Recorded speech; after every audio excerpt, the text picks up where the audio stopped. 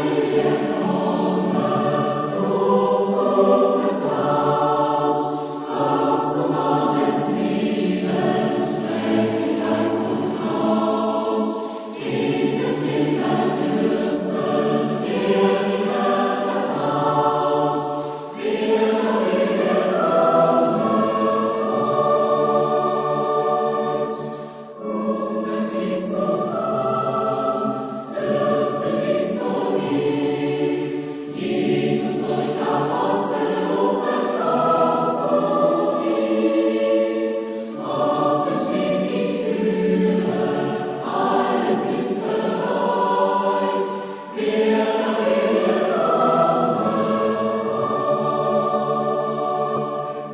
Liebe Zuhörerinnen und Zuhörer, liebe Seniorinnen und Senioren, liebe Glaubensgeschwister, herzlich willkommen zum Seniorenpodcast Nummer 48 der Neuapostolischen Kirche Pforzheim. Vor wenigen Tagen erlebten wir den Gottesdienst unseres Stammapostels zu Pfingsten aus Zürich. Unser Bezirksseniorenbeauftragter, Hirte im Ruhestand Norman Denzinger, hat diesen einmal wieder für uns zusammengefasst. Die Aussagen des Stammapostels waren so vielfältig und umfassend, dass wir die Wiedergabe in zwei Teile mit Musikeinlage unterteilen. Zunächst allerdings hören wir das Grußwort von Priester im Ruhestand Dietmar Wedel. Er stellt uns für unsere Podcasts fast von Anfang an die Musik zur Verfügung. Wie er zu diesen Aufnahmen kam und kommt, schildert er uns in seinem ausführlichen Bericht. Ohne seine vielen Musikstücke hätten wir keine 48 Podcasts produzieren können. Schließlich müssen wir bei der YouTube-Sendung Eigentumsrechte beachten. Priester Wedel erteilte uns bereits vor einem Jahr diese Genehmigung. Dafür darf ich mich hier und heute sicher auch in eurem Namen sehr herzlich bei ihm bedanken. Liebe Zuhörer und Zuhörerinnen, liebe Geschwister, vom Bruder Müller wurde ich angeschrieben, ob ich mir vorstellen könnte, einmal ein Grußwort an die Senioren des Bezirks Pforzheim zu verfassen und einzusprechen und einmal über meine Musikarbeit zu berichten. Diesen Wunsch komme ich jetzt gerne nach. Mein Name ist Dietmar Wedel, euch vielleicht bekannt durch den YouTube-Kanal, den ich seit Dezember 2018 betreibe. Ich bin Priester im Ruhestand und glücklich seit 1972 verheiratet und wohne in Bürstadt, Südhessen, ganz am nördlichen Rand unseres Bezirksapostelbezirks Süddeutschland im Bezirk Mannheim-Weinheim. Mit der Musik kam ich relativ früh in Berührung, da ich schon als Kind gerne gesungen habe und ich deshalb schon im Schulchor mitsang. Nach meiner Konfirmation habe ich dann in den verschiedenen Chören, Jugendchor, Bezirksmännerchor, Bezirkschor, Gemeindechor, als Tenorsänger immer mitgesungen. Von Beruf bin ich Elektrotechniker und ab 1979 war ich mit einer Offset-Druckerei selbstständig.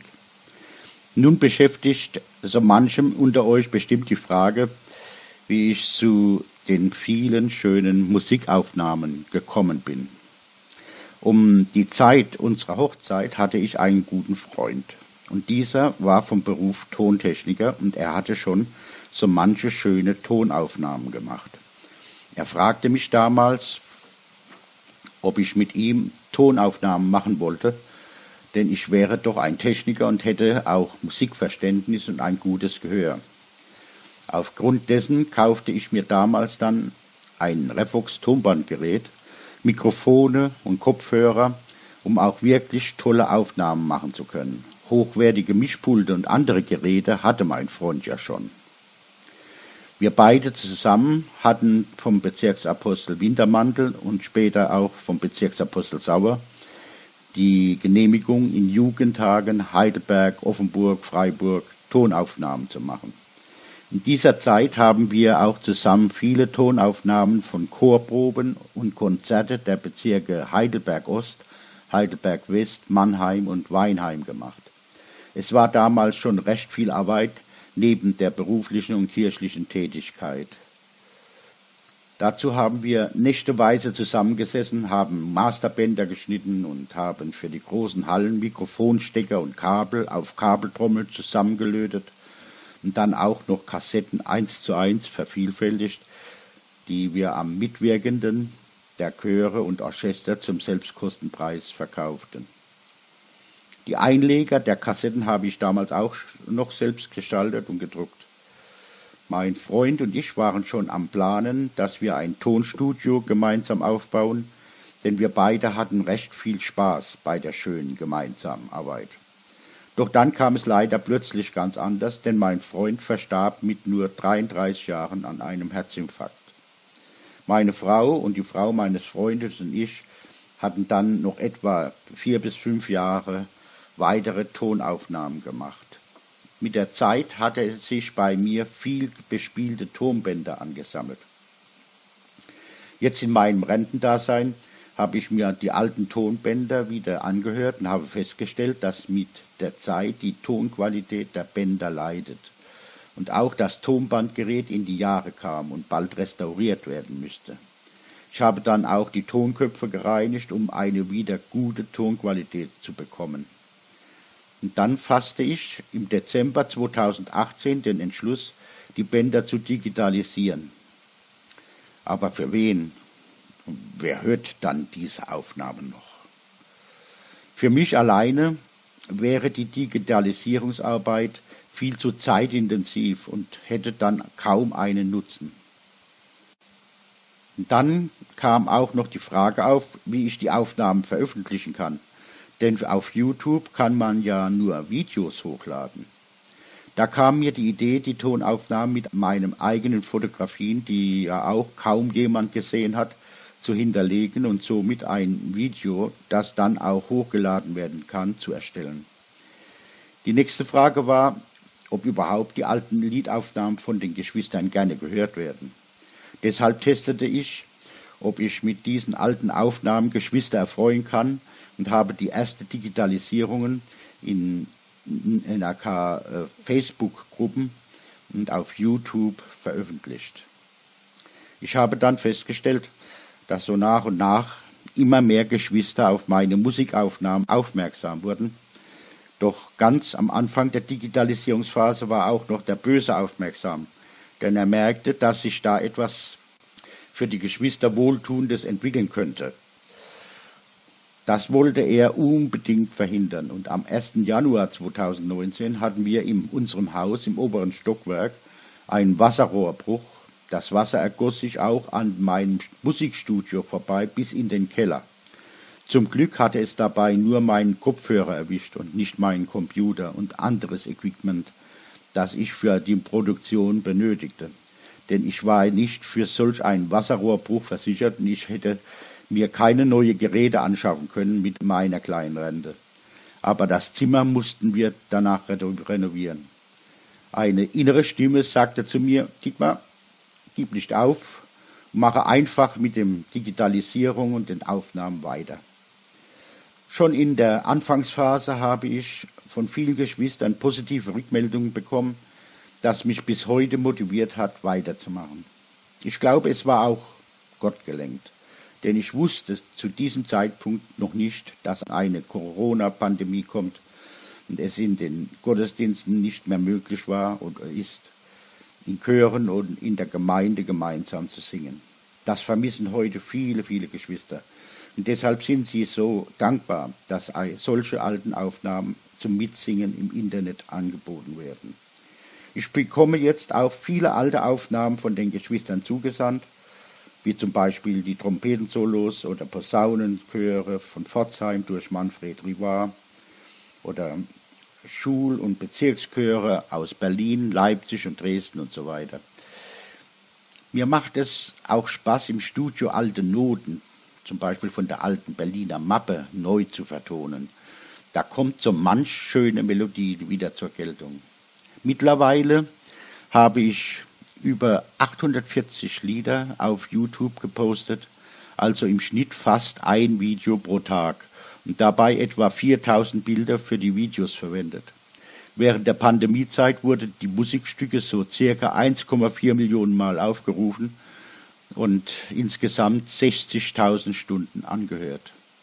Die Pandemie hat uns ganz deutlich gezeigt, dass der Gesang im Chor oder in der Gemeinde, was vorher so selbstverständlich war und kaum noch bewusst wahrgenommen wurde, auf einmal in den Gottesdiensten als Rahmen fehlt. Ja, man sehnt sich auf einmal wieder nach dem Miteinander singen und musizieren zu dürfen und nach der Gemeinschaft. Wie hatte Stammapostel Fair aber auch gesagt, alles ist Gnade und ohne Gnade ist alles nichts.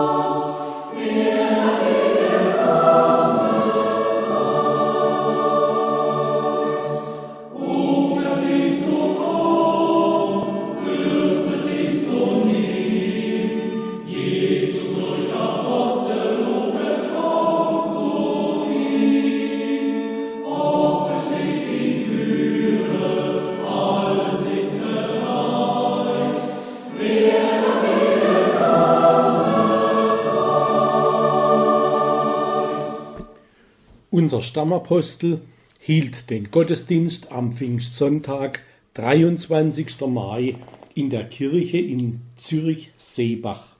Hier eine Zusammenfassung dieses Gottesdienstes. Textwort Römer 8, Vers 14. Denn welche der Geist Gottes treibt, die sind Gottes Kinder.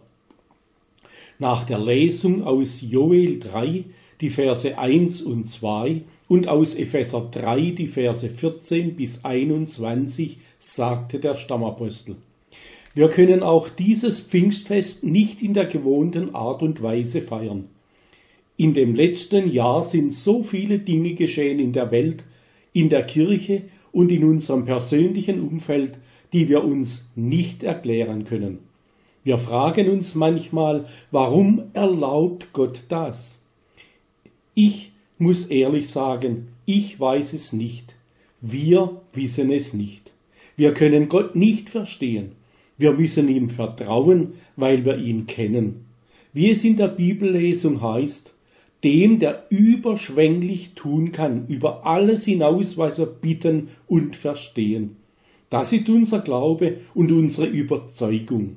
Ihm ist es möglich, alles zu tun. Er hat keine Grenzen und seine Liebe ist mächtiger, als wir uns das vorstellen können. Wir können seine Liebe erleben durch seine Kraft, die in uns wirkt. An Pfingsten hat der Heilige Geist seine Kraft auf beeindruckende Weise gezeigt. Die Menschen hörten das Rauschen eines Sturms und sie sahen Feuerzungen. Den Jüngern war es möglich, in anderen Sprachen zu sprechen. Das waren Zeichen von göttlicher Kraft, um den Menschen zu zeigen, der Heilige Geist ist da und er wirkt. Aber der Heilige Geist wirkt dann in den Herzen und Seelen derer, die ihn empfangen hatten. Das ist die Weise, in der er in uns wirkt. Er wirkt das Heil in uns. Wenn der Heilige Geist in uns arbeitet, verändert sich unser Verhalten. Er reinigt und heiligt uns. Dieses reinigende Wirken sehen wir nicht, das kann nur Gott sehen. Aber wir können ihm vertrauen, dass er diese Reinigung in uns vollbringt. Manche Menschen sagen, ich komme mit der Idee, dass der Heilige Geist in uns Heil bereitet, nicht zurecht. Ihr sagt, das Leben ist nur Leiden und die Erde ist ein Teil der, Tal der Tränen. Deshalb gehen die Menschen in die Kirche, um diesem Tal der Tränen zu entkommen. Andere sagen, ihr sagt den Menschen, sie sind so schlecht, dafür müssen sie bestraft werden, und um diese Strafe nicht zu erhalten, müssen sie glauben. Liebe Geschwister, das ist nicht unsere Vorstellung vom Heil. Wir sehnen uns nach einem anderen Heil. Christus ist unsere Zukunft. Unser Heil ist dass wir in die neue Kreatur in Christo hineinwachsen. Wir möchten wie er werden. Das ist das Heil, auf das wir warten. Jesus war ohne Sünde. Er hatte immer Frieden in seinem Herzen. Er hat alles überwunden ohne Gewalt. Er war in der Lage, auf perfekte Art zu lieben. Das ist unser Ziel. Wir möchten in sein Wesen hinein verwandelt werden, dass auch wir vollkommene, auf vollkommene Art lieben können. Wir wollen das Böse überwinden ohne Gewalt und einen vollkommenen Frieden im Herzen haben. Das ist die Arbeit, die durch den Heiligen Geist geschieht. Er arbeitet in uns, um uns in dieses Wesen hineinzuführen. Der Heilige Geist ist ein Schöpfer der neuen Kreatur. Durch die Taufe und die Hinnahme des Heiligen Geistes wurden wir wiedergeboren in eine neue Kreatur. Das ist die Arbeit des Heiligen Geistes. Er schuf etwas völlig Neues in uns. Der Heilige Geist ist ein Geist der Kraft. Durch seine Gaben haben wir die Befähigung, so zu werden wie Jesus Christus. Durch diese Kraft können wir verwandelt werden. Die Gabe Heiligen Geistes ist die Garantie, du kannst es schaffen. Der Heilige Geist ist ein Geist der Kraft, die er aber auf sanfte Weise benutzt. Er zwingt uns nicht, er möchte uns aber führen und leiten. Er sagt uns, tue dies und tue jenes nicht, aber er zwingt uns nicht, er gibt uns Hinweise, er leitet und führt uns. Der Heilige Geist ist auch ein Geist der Bewegung. Er möchte, dass wir uns nach vorne bewegen. Er zwingt uns nicht, aber er motiviert uns dazu. Er offenbart uns die Herrlichkeit Jesu Christi und die Liebe Gottes. Er schafft in uns den Wunsch, mit Gott Gemeinschaft zu haben. Er regt uns an, in Bewegung zu kommen. Geh nach vorne. Er sagt uns, du musst dich verändern. Halte nicht an. Du musst es besser machen, aber du bist in der Lage dazu. Du musst Jesus noch näher kommen. Bleib nicht stehen, du schaffst es. Der Heilige Geist ist ein Geist der Schöpfung, ein Geist der Kraft und ein Geist der Bewegung. Erlauben wir es ihm, uns zu führen und zu leiten. Wenn wir tun, was er uns sagt, können wir so werden wie Jesus. Daran ist kein Zweifel. Der Heilige Geist ist der Schöpfer der neuen Kreatur in uns. Der Heilige Geist erschafft Dinge aus dem Nichts. Ganz Neues, vorher Unbekanntes. Das entzieht sich dem menschlichen Verstand. Der Heilige Geist schafft etwas völlig Neues, die Braut Christi. Er hat die Kirche errichtet und möchte sie zur Vollendung führen. Alle, die ins Reich Christi eingehen werden, werden sein wie Jesus Christus. Wenn wir das dem mit dem Verstand betrachten, denken wir, das kann nicht sein. Das ist ein Traum. Die Kirche und ihre Mitglieder sind unvollkommen. Vertrau dem Schöpfer, dem Heiligen Geist. Er wird es machen. Wenn wir uns von ihm führen lassen, können wir sogar zu dieser Schöpfung beitragen, können wir alle Unterschiede überwinden. Wir können vergeben und versöhnt sein. Wir können dann die Schwachen und die Starken integrieren und einander lieben und einander dienen. Fürchtet euch nicht, wenn das noch nicht so weit ist. Der Herr wird seine Kirche vollenden. Du kannst dazu beitragen, diese Kirche mit aufzubauen, wie es dem Willen Gottes entspricht.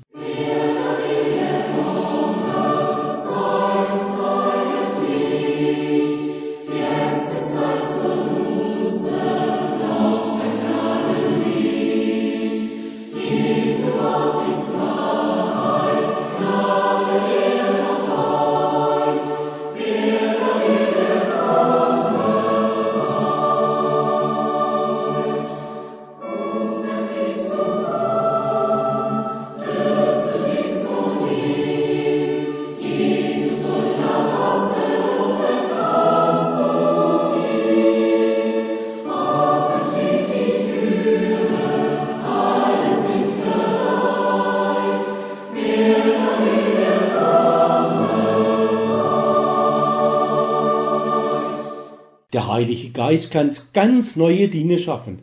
In den letzten Monaten sind viele Dinge passiert. Das Leben vieler Geschwister hat sich völlig verändert. Da sind Geliebte in die Ewigkeit gezogen. Es kamen ganz unerwartete Veränderungen. Man befindet sich in einer ganz neuen Situation, auf die man nicht vorbereitet war. Man fühlt sich verloren. Vertrau der Kraft des Heiligen Geistes. Er wird den Weg bereiten, auf dem du getröstet und gestärkt wirst. Er wird Wege finden, dass du Frieden, Kraft und Freude empfangen kannst. Diese Situationen hindern ihn nicht, für dich Wege zu finden, dass du in die neue Kreatur hineinwachsen kannst. Vertraue dem Heiligen Geist, er wird es machen. Es gibt auch Geschwister, die in extrem schwierigen Situationen leben und an deren Situation sich nichts verändern will. Sie sind Gewalt und Verbrechen ausgesetzt. Sie sehnen sich nach mehr Frieden, nach mehr Sicherheit und nichts hat sich verändert. Ich rufe euch zu, vertraut der Kraft des Heiligen Geistes. Er ist nicht begrenzt in seinem Wirken, selbst in dieser schrecklichen Situation, selbst wenn sich nichts verändert, er kann dich erretten. Er kann dir einen Weg schaffen, wo du Frieden findest. Gestatte ihm, dich zu trösten. Andere hoffen auf eine Veränderung der Kirche, Sie hoffen auf eine schöne Kirche mit vier Wänden, einem Dach und Bänken und ein paar Instrumente, mit denen man Musik machen kann. Sie warten Jahre und nichts hat sich verändert. Ich weiß, dass es Jahrzehnte dauern wird, bis all diese Geschwister ein einfaches Kirchengebäude haben werden. Wenn überhaupt. Viele sind enttäuscht, wir als Kirche tun unser Bestes, aber wir müssen realistisch sein. Es braucht Zeit.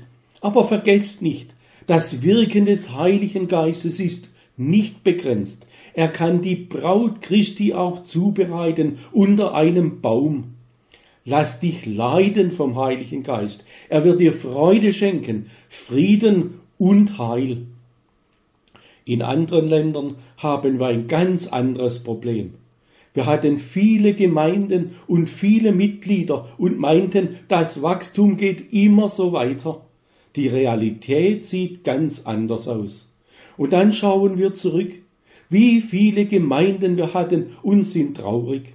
Ich möchte allen sagen, die unter dieser Situation leiden, ich kenne euren Schmerz.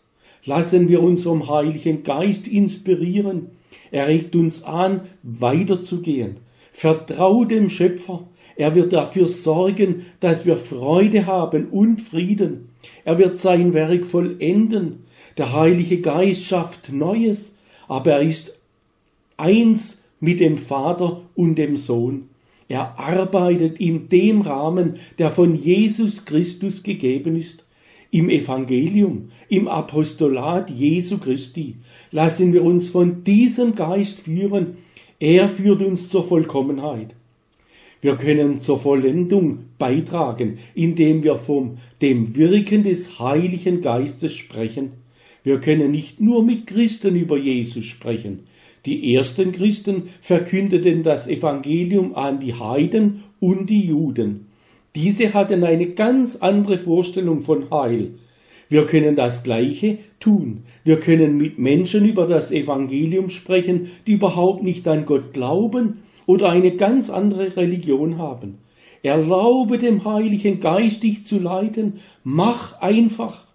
Lasst uns den Mut haben, allen Menschen das Evangelium zu verkündigen. Das ist die Botschaft dieses Pfingstfestes in das Wesen Jesu hineinwachsen. Der Heilige Geist will uns verwandeln. Lassen wir uns von ihm leiten. Er wird immer einen Weg finden, uns Freude, Frieden und Heil zu schaffen. Soweit die Zusammenfassung des Gottesdienstes.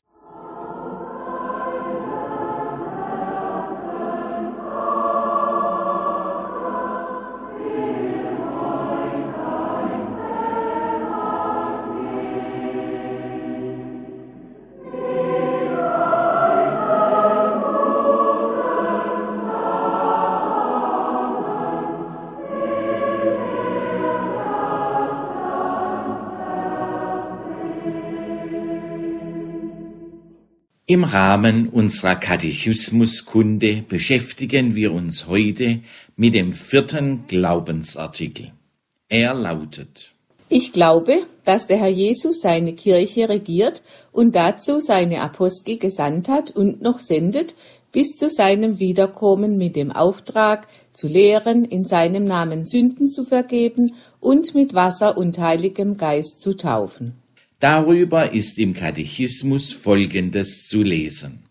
Der vierte Glaubensartikel spezifiziert den Glauben an die Kirche, von dem schon im dritten Artikel die Rede ist. Es geht in diesem Artikel zunächst um die Regentschaft Jesu Christi. Er ist es, der seine Kirche regiert, denn er ist das Haupt des Leibes, wie in Kolosser 1, Vers 18 beschrieben. Und er ist das Haupt des Leibes, nämlich der Gemeinde. Er ist der Anfang, der Erstgeborene von den Toten, auf dass er in allem der Erste sei. Diese Regentschaft findet unter anderem ihren Ausdruck in der Sendung der Apostel. Jesus erteilte folgenden Missionsbefehl. Siehe auch Matthäus 28, Vers 19 und 20. Darum geht hin und lehret alle Völker, taufet sie im Namen des Vaters und des Sohnes und des Heiligen Geistes und lehret sie halten alles, was ich euch befohlen habe. Und siehe, ich bin bei euch alle Tage, bis an der Welt Ende. Damit wird deutlich, dass Evangeliumsverkündigung und Sakramentsspendung mit dem Apostolat ursächlich verbunden sind. Hier wird die Apostolizität von Kirche, von der im dritten Glaubensartikel schon grundsätzlich die Rede ist, noch einmal aufgenommen und in das konkrete Gefüge von Kirche innerhalb ihrer geschichtlichen Erfahrbarkeit gestellt. Das Apostelamt ist innerhalb der Geschichte nicht auf die Epoche der Urkirche begrenzt, es soll seine Aufgabe bis zu Jesu Wiederkommen erfüllen. Was Jesus Christus durch seine Apostel wirkt und was für jeden Glaubenden erfahrbar ist, wird in den Worten beschrieben. Zu lehren, in seinem Namen Sünden zu vergeben und mit Wasser und Heiligem Geist zu taufen. Der Auftrag zu lehren betrifft die rechte Verkündigung des Evangeliums von Tod, Auferstehung und Wiederkunft des Herrn. Innerhalb Johannes 20, Vers 23 ist zu lesen. Welchen ihr die Sünden erlasset, denen sind sie erlassen und welchen ihr sie behaltet, denen sind sie behalten. Eine weitere Aufgabe des Apostolats ist es also, die Sündenvergebung aus dem Opfer und Verdienst Jesu Christi dem Menschen verbindlich zuzusprechen. Zum Abschluss des vierten Glaubensartikels wird auf die Sakramente heilige Wassertaufe und heilige Versiegelung Bezug genommen. Das Apostolat hat die Aufgabe, mit Wasser und heiligem Geist zu taufen, also jene Sakramentsspendungen zu vollziehen, durch die das neue Sein vor Gott möglich wird.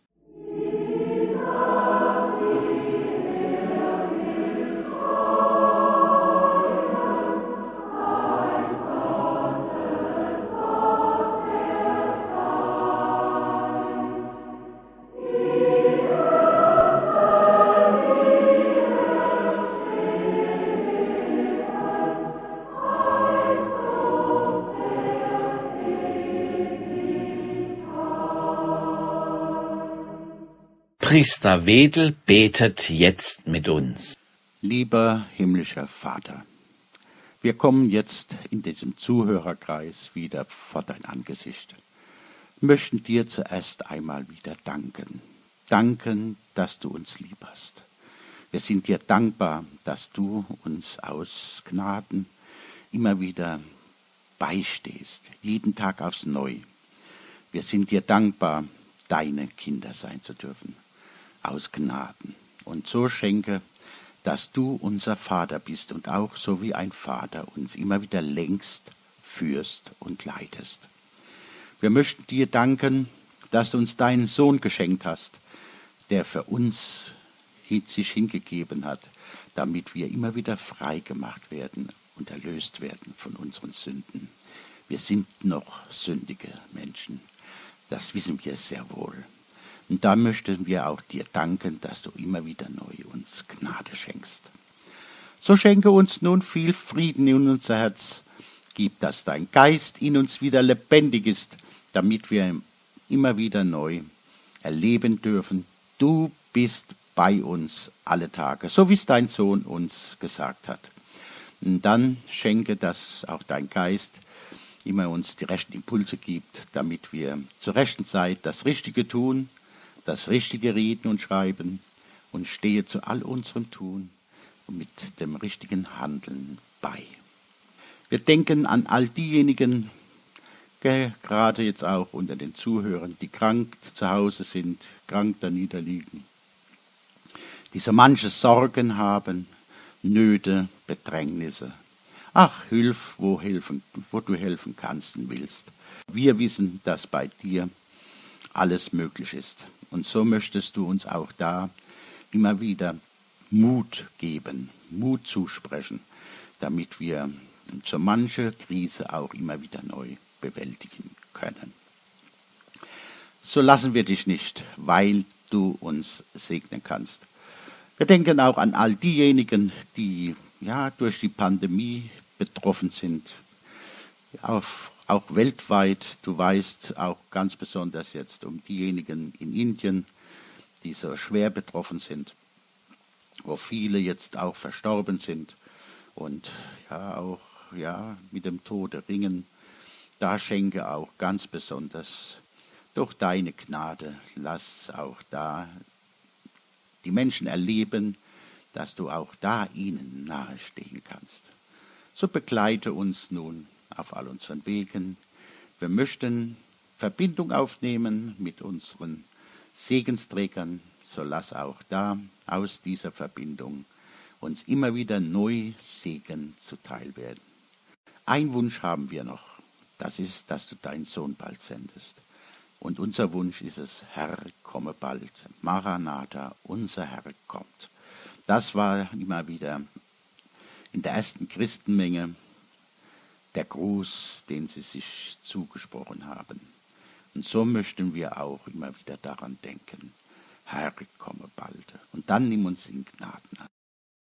So schenke uns nun deinen Frieden und erhöre dies jetzt in Jesu Namen.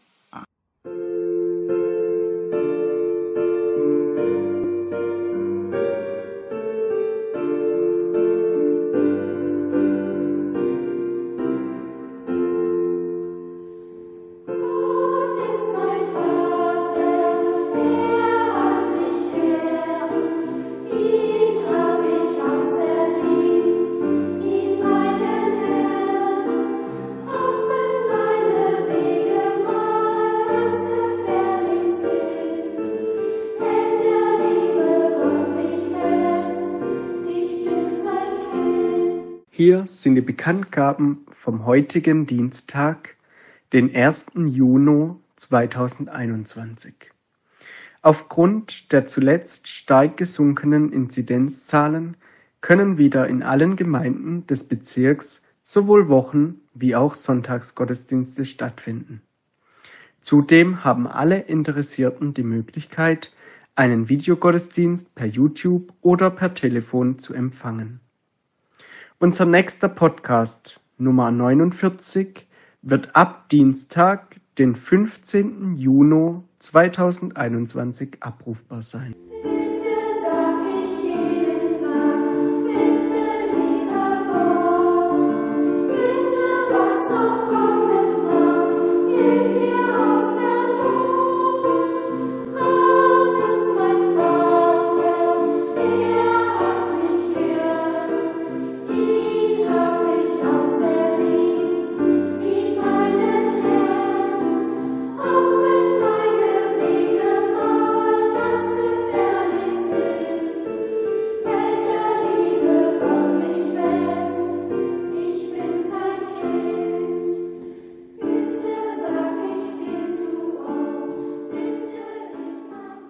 Das war der Podcast Nummer 48 für die Senioren der Neuapostolischen Kirche im Bezirk Pforzheim.